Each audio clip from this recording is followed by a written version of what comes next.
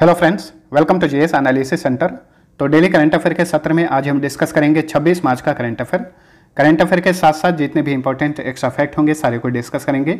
साथ ही इसका पीडीएफ इस वीडियो के डिस्क्रिप्शन से आप डाउनलोड कर सकते हैं। तो वीडियो को अंत तक देखिए। अंत में आप सभी से दो प्रश्न पूछूँगा, उसका आंसर आपको नीचे कमेंट में लिखना है। तो अब चलिए स्टार्ट करते हैं। पहला क्वेश्चन है 24 मार्च 2022 को असम राइफल्स का कौन सा स्थापना दिवस मनाया गया? तो असम राइफल्स ये भारत का पैरामिलिट्री फोर्स है अर्धसैनिक बल है। हाल ही में इसका एक स्थापना दिवस मनाया गया तो ऑप्शन ए सही उत्तर है। असम राइफल्स जो है ये भारतीय सेना का सबसे पुराना अर्धसैनिक बल है। भारत में और भी बहुत सारे अर्धसैनिक बल हैं जैसे कि BSF, CISF, CRPF, ITBP, SSB इत्यादि। इन सभी में सबसे पुराना अर्धसैनिक बल असम राइफल्स हैं। असम राइफल्स को पूर्वोत्तर भारत का प्रहरी कहा जाता है। और असम राइफल जो है, ये दोहरी नियंत्रण संरचना वाला भारत का एकमात्र अर्धसैनिक बल है। इसके अलावा जितने भी अर्धसैनिक बल हैं, सारे केंद्रीय गृह मंत्रालय के अधीन काम करते हैं, लेकिन असम राइफल्स ये एकमात्र ऐसा अर्धसैनिक बल है जो कि दो मंत्रालय के अधीन काम करता है, केंद्रीय रक्षा मंत्रालय और केंद्रीय गृह मंत्रालय। असम राइफल्स की स्थापना 1835 में की गई थी ब्रिटिश काल में। इसका मुख्यालय मेघालय की कैपिटल शिलोंग में है। देखिए यहाँ पर एक बात और ध्यान में रखिए, जितने भी अर्धसैनिक बल हैं, सभी का मुख्यालय नई दिल्ली में है। लेकिन असम राइफल्स ये एकमात्र ऐसा अर्धसैनिक बल है, जिसका हेडक्वार्टर नई दिल्ली में नहीं है, बल्कि शिलोंग में है। असम राइफल्स के महानिदेशक हैं प्रदीप चंद्रन नायर। चलिए, अगला क्वेश्चन है। रक्षा अनुसंधान और विकास संगठन द्वारा 23 मार्च 2022 को सतह से सतह पर मार करने वाली किस सुपरसोनिक क्रूज मिसाइल का सफल परीक्षण किया गया? तो देखिए, हाल ही में डीआरडीओ ने 23 मार्च को ब्रह्मोस मिसाइल का सफल परीक्षण किया। Option A, right answer.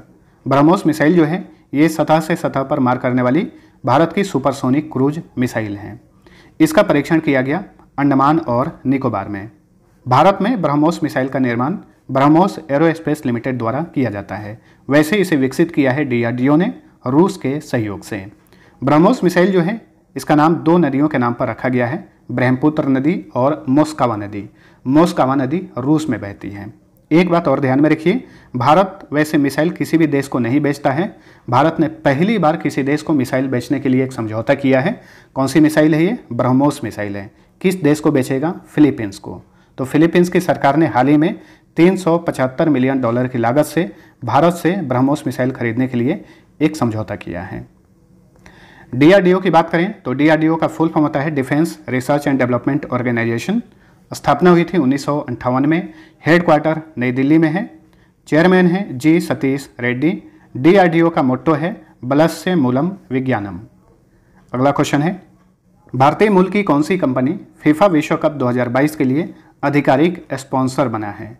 तो देखिए, इस बार का फीफा विश्व कप कतर में आयोजित किया जाएगा। हर चार साल पर इसका आयोजन किया जाता है। पिछली बार 2018 में रूस में इसका आयोजन किया गया था और 2022 में नवंबर दिसंबर में इसका आयोजन कतर में किया जाएगा। तो फीफा विश्व कप 2022 के लिए आधिकारिक स्पॉन्सर बना है भारतीय कंपनी बाइजू जो कि लर्निंग प्लेटफॉर्म है। Option B, right answer. और इस तरह से बाइजू ने इतिहास रच दिया है। याद रखिएगा, फीफा विश्व कप के लिए पहली बार कोई भारतीय कंपनी स्पॉन्सर बना है। ठीक है? बाइजू जो कंपनी है, ये दुनिया की सबसे मूल्यवान एडटेक और डिजिटल लर्निंग कंपनी है। इसकी स्थापना 2011 में की गई थी। मुख्यालय बेंगलुरु में है।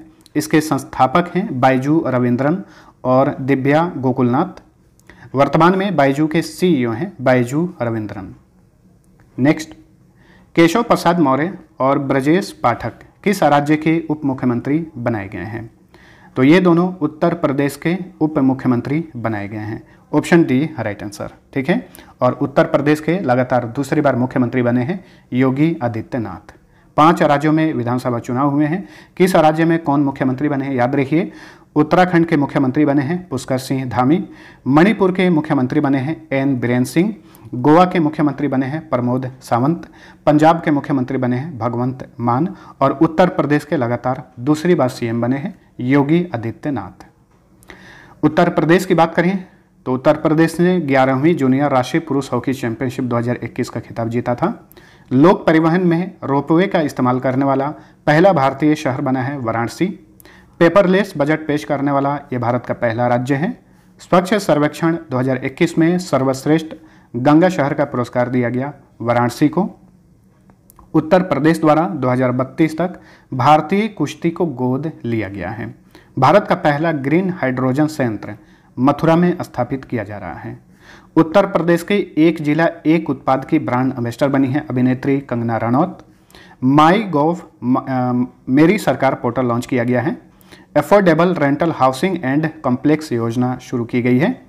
और प्रधानमंत्री नरेंद्र मोदी द्वारा उत्तर प्रदेश के बलरा बलरामपुर में सरयू नहर परियोजना का उद्घाटन किया गया। अब उत्तर प्रदेश का मैप देखिए। ये भारत के आठ राज्य और एक केंद्र शासित प्रदेश से अपनी सीमा शेयर करता है। राज्यों में बिहार, झारखंड, छत्तीसगढ़, मध्य प्रदेश, राजस्थान, हरियाणा, हिमाचल प्रदेश और उत्तराखंड केंद्र शासित प्रदेश में दिल्ली से और कंट्री में नेपाल से अपनी सीमा शेयर करता है। उत्तर प्रदेश का गठन हुआ था 24 जनवरी 1950 को। जिलों की संख्या 75 है। भारत में सबसे अधिक ज़िले यूपी में ही हैं। राजधानी लखनऊ, सीएम बने हैं योगी आदित्यनाथ। राज्यपाल हैं आनंदीबेन पटेल। मुख्य न्यायाधीश हैं राजेश बिंदल ये इलाहाबाद हाई कोर्ट के चीफ जस्टिस हैं। उत्तर प्रदेश में लोकसभा सीट की संख्या 80, राज्यसभा सीट 31, विधानसभा सीट की संख्या 403 है। विधान परिषद भी है इसके सीट की संख्या 100 है। भारत में सबसे अधिक निर्वाचन सीट की संख्या उत्तर प्रदेश में ही है ठीक है? और ध्यान रखिए भारत के वर्तमान में छः राज्यों में विधान परिषद है। एक हो गया उत्तर प्रदेश इसके अलावा पाँच हैं बिहार महाराष्ट्र कर्नाटक आंध्र प्रदेश और तेलंगाना।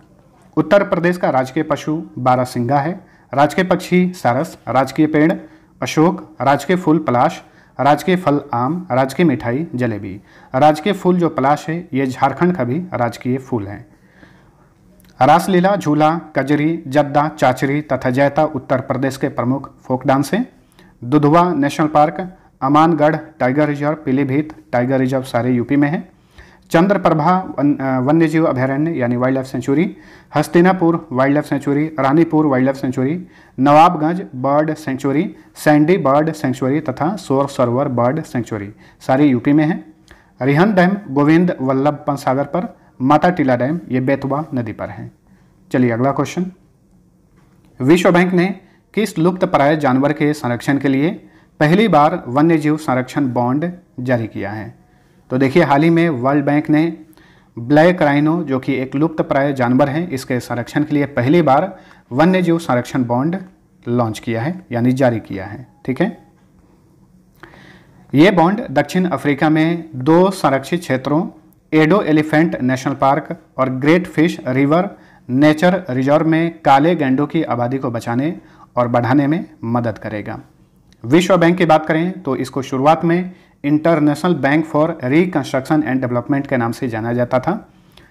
विश्व बैंक की स्थापना जुलाई 1944 में संयुक्त राष्ट्र के ब्रेटन उच्च सम्मेलन में की गई थी। मुख्यालय वाशिंगटन डीसी में है। वाशिंगटन डीसी में ही अमेरिकी अंतरिक्ष एजेंसी नासा और इंटरनेशनल मॉनेटरी फंड का मुख्यालय है। विश्व बैंक के अध्यक्ष हैं डेविड मलपास, प्रबंध निदेशक और चीफ फाइनेंस ऑफिसर हैं अंशुला कांत, जो कि भारत की हैं।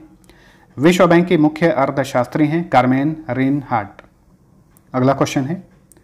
सेंट्रल बैंकिंग अवार्ड्स 2022 में गवर्नर ऑफ़ द ईयर का पुरस्कार किसने जीता?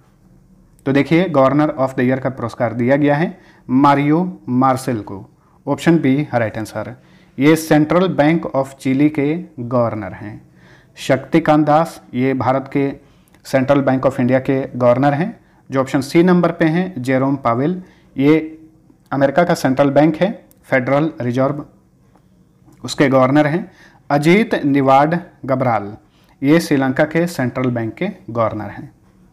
चलिए अगला क्वेश्चन औद्योगिक आर्टिफिशियल इंटेलिजेंस विषय में एम टेक पाठ्यक्रम लॉन्च करने के लिए आईआईटी मद्रास ने किसके साथ भागीदारी की है? तो देखिए इंपॉर्टेंट क्वेश्चन बनेगा। औद्योगिक आर्टिफिशियल इंटेलिजेंस विषय में एम टेक पाठ्यक्रम लॉन्च करने के लिए आईआईटी मद्रास ने टाटा कंसल्टेंसी सर्विसेज़ के साथ समझौता किया है। ऑप्शन डी, राइट आंसर है। ये 18 माह का कार्यक्रम होगा, जो कि वर्चुअली तरीके से आयोजित किया जाएगा। यानी जो भी कक्षाएँ ली जाएँगी सभी ऑनलाइन माध्यम से लाइव कक्षाएँ ली जाएँगी। आईआईटी मद्रास की स्थापना उन्नीस सौ उनसठ में की गई थी। आईआईटी मद्रास के वर्तमान में चेयरमैन हैं पवन कुमार गोयनका। टाटा कंसल्टेंसी सर्विसेज़ की बात करें तो इसकी स्थापना की गई थी 1 अप्रैल उन्नीस सौ अड़सठ को। मुख्यालय मुंबई में है। वर्तमान में टीसीएस के एमडी और सीईओ हैं, राजेश गोपीनाथन। हाल ही में इन्हें दूसरे कार्यकाल के लिए नियुक्त किया गया है। अगले पाँच साल के लिए फिर से इनकी नियुक्ति की गई है। चलिए अगला क्वेश्चन एक अप्रैल 2022 से तीन साल की अवधि के लिए किसे मारुति सुजुकी इंडिया का प्रबंध निदेशक और मुख्य कार्यकारी अधिकारी नियुक्त किया गया है? तो मारुति सुजुकी इंडिया के नए एमडी और सीईओ बने हैं ही साशी टेकुची। जो कि जापान के रहने वाले हैं। इन्हें केनिची आयु कावा के स्थान पर नियुक्त किया गया है। तो ऑप्शन ए, सही उत्तर है। मारुति सुजुकी इंडिया की स्थापना की गई थी अक्टूबर उन्नीस में। यहाँ पे बहुत सारे लोग कंफ्यूज हो सकते हैं। दोस्तों विकीपीडिया पे आप सभी को इसकी स्थापना देखने को मिलेगा उन्नीस सौ इक्यासी, लेकिन यह रॉन्ग है। उन्नीस सौ इक्यासी में सिर्फ़ मारुति की स्थापना की गई थी। मारुति जो कि भारतीय कंपनी है और सुजुकी ये जापान की ऑटोमोबाइल कंपनी है। मारुति सुजुकी, इन दोनों ने आपस में मर्ज किया था उन्नीस में। इसलिए मारुति सुजुकी की स्थापना कब हुई? अक्टूबर उन्नीस में। मुख्यालय नई दिल्ली में है। वर्तमान में मारुति सुजुकी इंडिया के चेयरमैन हैं आर सी भार्गव। अब ये क्वेश्चन नियुक्तियों से रिलेटेड था तो हाल ही में जो भी इंपॉर्टेंट नियुक्तियाँ की गई हैं, इन्हें भी याद रखिए।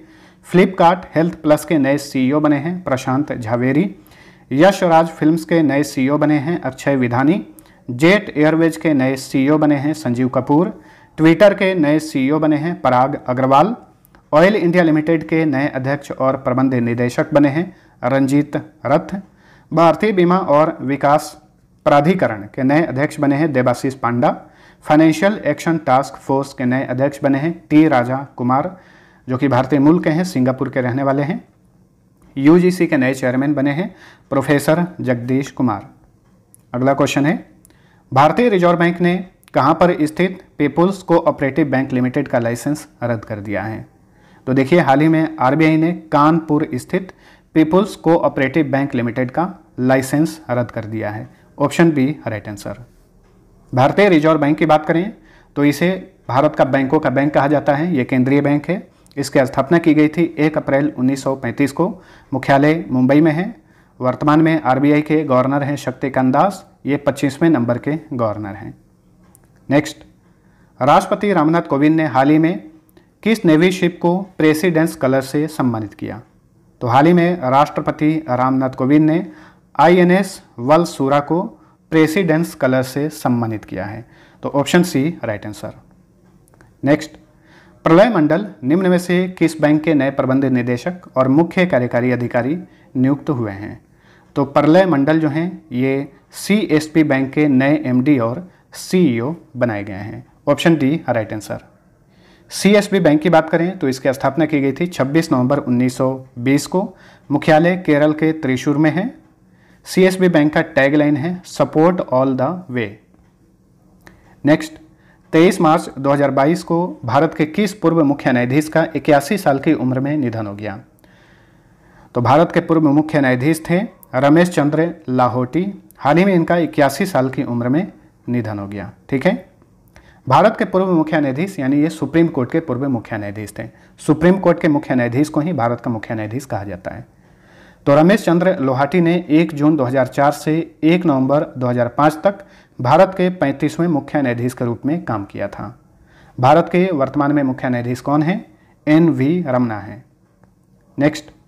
गुलामी और ट्रांस अटलांटिक दास व्यापार के पीड़ितों के स्मरण का अंतर्राष्ट्रीय दिवस, यानी international day of remembrance of the victims of slavery and the trans Atlantic slave trade कब मनाया गया? तो हर साल ये दिवस मनाया जाता है 25 मार्च को। Option B, right answer. 2022 का विषय है, साहस की कहानियाँ, दास्ता का प्रतिरोध और जातिवाद के खिलाफ एकता, यानी resistance to slavery and unity against racism देखिए 25 मार्च को और भी दिवस मनाए जाते हैं। नज़रबंद और लापता स्टाफ सदस्यों के साथ एकजुटता का अंतर्राष्ट्रीय दिवस और अजन्मे बच्चे का अंतर्राष्ट्रीय दिवस भी 25 मार्च को ही मनाया जाता है। अब देखिए, मार्च माह में जितने भी इंपॉर्टेंट दिवस मनाए गए हैं, मेरे साथ साथ आप सभी लोग फटाफट रिविजन करिए थीम के साथ। एक मार्च को शून्य भेदभाव दिवस मनाया जाता है। आप थीम भी देख सकते हैं। एक मार्च को ही विश्व नागरिक सुरक्षा दिवस मनाया जाता है। तीन मार्च को विश्व वन्यजीव दिवस, चार मार्च को विश्व मोटापा दिवस, आठ मार्च को अंतर्राष्ट्रीय महिला दिवस, दस मार्च को महिला न्यायाधीशों का अंतर्राष्ट्रीय दिवस, बीस मार्च को अंतर्राष्ट्रीय प्रसन्नता दिवस, बीस मार्च को ही विश्व गौराया दिवस भी मनाया जाता है। 21 मार्च को भी बहुत सारे दिवस मनाए जाते हैं। अंतर्राष्ट्रीय वन दिवस, नस्लीय भेदभाव के उन्मूलन के लिए अंतर्राष्ट्रीय दिवस, विश्व डाउन सिंड्रोम दिवस विश्व कविता दिवस। सारे 21 मार्च को मनाए जाते हैं। 22 मार्च को विश्व जल दिवस 23 मार्च को विश्व मौसम विज्ञान दिवस और 24 मार्च को विश्व टीबी दिवस मनाया जाता है। चलिए अगला क्वेश्चन। 25 से 26 मार्च को इंडियन साइकेट्रिक सोसाइटी का तिहत्तरवां वार्षिक राष्ट्रीय सम्मेलन कहाँ पर आयोजित किया गया? तो देखिए, हाल ही में इंडियन साइकियाट्रिक सोसाइटी का तिहत्तरवां वार्षिक राष्ट्रीय सम्मेलन का आयोजन किया गया आंध्र प्रदेश के विशाखापट्टनम में। ऑप्शन सी राइट आंसर और इस सम्मेलन का विषय था ब्रिजिंग माइंड्स कनेक्टिंग जनरेशंस तो फ्रेंड्स ये था हमारा आज का करेंट अफेयर वीडियो पसंद आया है तो लाइक और शेयर ज़रूर करना। अब डेली की तरफ़ फटाफट पिछले क्लास का क्विक रिवीजन कर लीजिए। पहला क्वेश्चन महेंद्र सिंह धोनी के स्थान पर चेन्नई सुपर किंग्स के नए कप्तान कौन बने हैं? रविंद्र जडेजा। टेस्ट क्रिकेट में सबसे तेज 8000 रन बनाने वाले विश्व के पहले खिलाड़ी कौन बने हैं? Steve Smith. किस बैंक ने को ब्रांडेड क्रेडिट कार्ड के लिए IPL team Chennai super kings के साथ समझौता किया है? आईसीआईसीआई बैंक ने। भारत ने पहली बार किस वित्तीय वर्ष में 400 अरब डॉलर के माल निर्यात का लक्ष्य हासिल किया है? 2021-22 में। नासा ने सौर मंडल के बाहर कितने नए ग्रहों की खोज की है? पैंसठ। हाल ही में अभिषेक चटर्जी का अंठावन साल की उम्र में निधन हो गया। वे किस क्षेत्रीय सिनेमा के प्रसिद्ध अभिनेता थे? बंगाली सिनेमा के।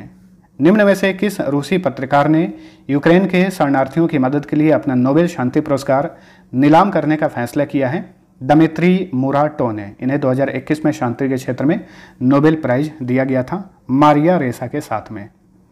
किस भारतीय महिला को स्कॉटलैंड राष्ट्रीय अकादमी द्वारा रॉयल सोसाइटी ऑफ़ एडिनबर्ग के फेलो के रूप में चुना गया है।